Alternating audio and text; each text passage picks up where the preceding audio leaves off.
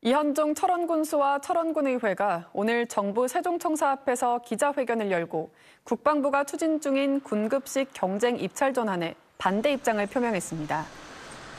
전국 이통장연합회 철원군 지회를 비롯한 참석자들은 이날 기자회견에서 경쟁 입찰 방식이 도입되면 대기업 중심의 대형 유통회사들이 군납 시장에 진출해 접경 지역 농업이 붕괴될 것이라며 부실급식을 심화시킬 수 있는 만큼 기존의 수의계약 방식을 택해야 한다고 주장했습니다. 또 군급식 경쟁 입찰 전환을 반대하는 건의문을 국무총리 비서실에 전달했습니다. 지금까지 강원이었습니다. 안녕하십니까 편사옥입니다. 더 많은 뉴스와 라이브 이벤트를 보고 싶으시면 화면 오른쪽을 눌러서 구독해 보시기 바랍니다. 또 저희 SBS 앱을 다운로드 하시면 속보 알림도 받아보실 수 있습니다. 항상 저희 SBS 뉴스를 시청해 주셔서 대단히 고맙습니다.